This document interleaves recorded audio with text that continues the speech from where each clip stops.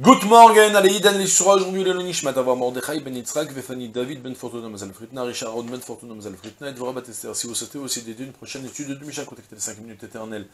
Nous étions à Seret Ktubot Perikud Aleph Mishnah, Bet, Almana ben Mina Erusin, ben Mina Nisuin. Mocheret Shelo Bevet Din, Rabbi Shimon Omer. Mina Nisuin, Mocheret Shelo Bevet Din. Mina Erusin, Lotimkor, Ella Bevet Din. מפני שאין לה מזונות, וכל שאין לה מזונות, לא תמכור אלא בבית דין. On traduit directement, Almana ben Menaïrousin ben Menaïzin, une veuve qui s'est retrouvée veuve du, depuis son fiançailles ou depuis son mariage. Soit, soit elle était juste fiancée avec son mari.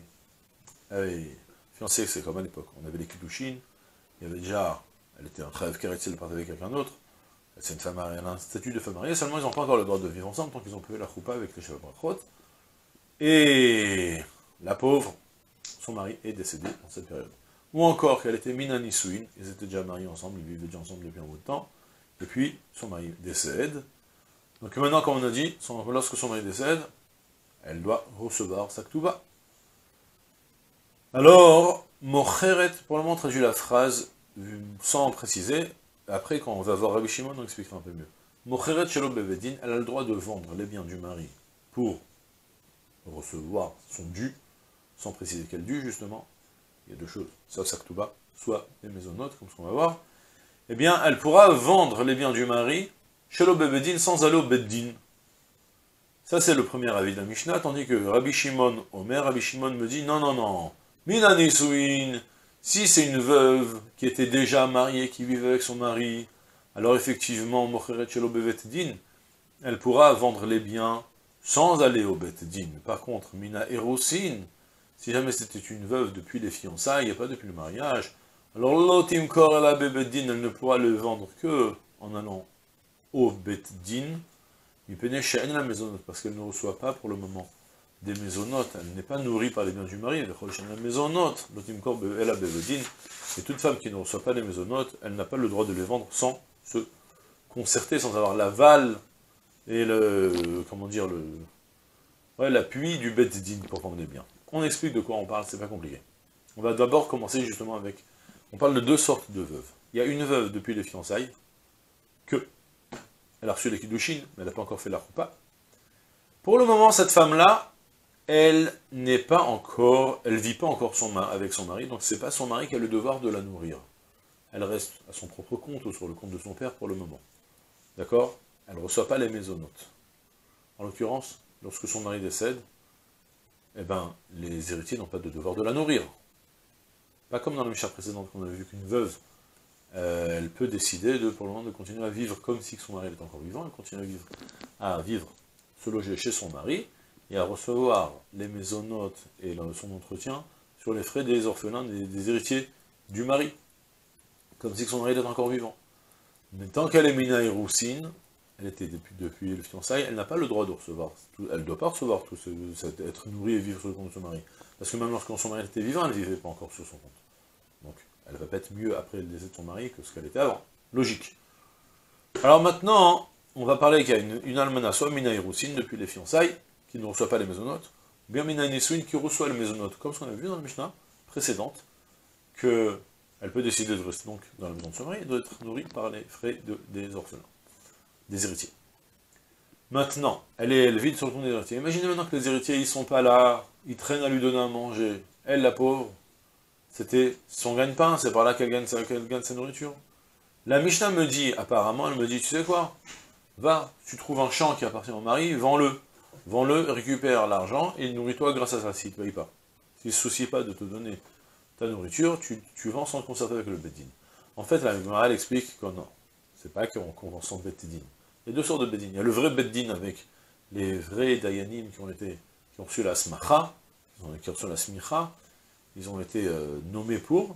Et à part ça, hein, un Beddin shel un Beddin de gens simples, tu réunis trois personnes qui comprennent un petit peu comment la, vie elle se passe, comment qui comprennent un petit peu dans la notion de commerce, et tu te concertes avec eux. C'est-à-dire, quoi qu'il arrive, il faut toujours trois personnes, il faut toujours une sorte de beddin. C'est parce qu'il faut un beddin d'expert ou un beddin simple. Et c'est en ça la, différence qu'il y a, pour le moment, Tanakama, il me dit, premièrement, la femme, depuis le mariage, le vrai mariage quand elle vivait avec son mari, autant qu'elle était nourrie chez son mari, elle doit être nourrie par les biens des héritiers. Si les héritiers ne sont pas là pour la nourrir, elle prend n'importe quel bien, elle réunit trois personnes qui, même si ce n'est pas des contenus de Khamim, trois personnes qui ont de la et elle dit, écoutez, je vais vendre, je ne reçois pas, mais regardez, j'ai des preuves, je dois recevoir Maktuva, moi, depuis euh, telle date, depuis tous les mois, regardez autour de moi, demandez à tout le monde, vous allez voir qu'ils ne sont pas là depuis trois mois, je suis en train de crever de faim.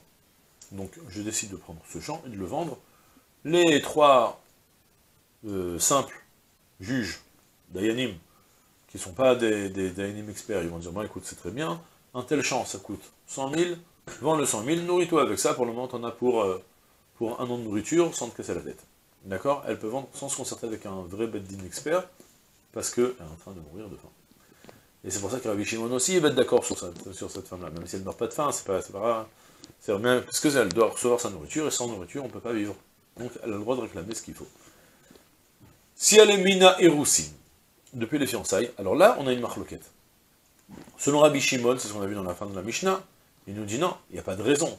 Tout ce qu'on te permet en fait de vendre sans te concerter avec un beddin d'expert, c'est parce que si tu dois faire une expertise avec le beddin, aller obtenir un, rendez-vous chez le beddin d'experts, ça va prendre trois mois, et c'est sûr, vous n'allez pas avoir de quoi manger. Il n'est pas question. Donc vous réunissez ces trois personnes, et vous avez le droit déjà de vendre, parce qu'il s'agit de manger, de ne pas mourir de faim. Mais lorsqu'on, lorsque de toute façon la femme, elle n'était pas, elle ne recevait pas de toute façon les maisonnotes, donc il n'y a pas ici de, de grande inconvenance, elle peut sans problème patienter d'atteindre le Bedadel Bedin.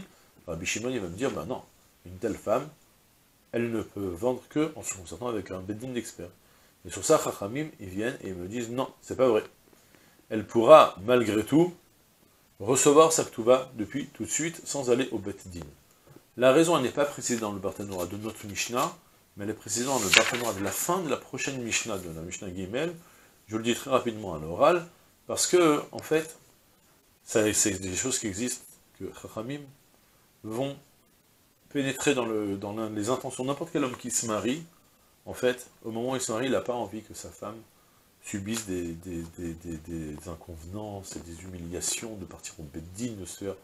Donc c'est sûr que Un homme n'a pas envie que sa femme, ouais, c'est ma dignité, ma femme, elle me représente, moi je suis quelqu'un de digne, de très bien, je veux que tous ceux qui ont affaire à moi, et même après mes 120 ans, qui continuent à garder cette dignité. C'est sûr que, euh, euh, lorsque je vais donner un certain pouvoir à ma femme, je vais donner un, pouvoir qu'elle n'aura pas besoin d'aller se, rabaisser de son honneur et de sa fierté, et de, partir au Bedin pour demander... Non, c'est sûr que j'ai accepté que très rapidement qu'elle reçoive sa paye, son dû. Je, veux rester un homme classe, même après mes 120 ans. D'accord? C'est dans la nature humaine d'être comme ça. Ça s'appelle une umdandat. Rami a fait une évaluation, une estimation de l'intention du mari. Et donc dans ce cas-là, Ramim pense que, même si c'est si c'est pas une question de, nourriture, euh, de minimum vital, parce qu'elle était de toute façon pas nourrie sur le compte du mari, un homme ne veut pas que sa femme aille se faire humilier au bétidine en train de vouloir réclamer, de se battre pour récupérer son argent, c'est sûr qu'il le donné avec l'intention qu'elle le récupère de la manière la plus facile, ça veut dire réunir même trois juges simples, trois personnes simples, elle prend, trois personnes de la bête Knesset, des bons juifs sympathiques, elle les vont, il va faire une évaluation du champ, et pour qu'elle reçoive, cette fois-ci, pas pour qu'elle reçoive ses maisonnotes, parce qu'elle peut de maisonnotes, mais pour recevoir sa kouva.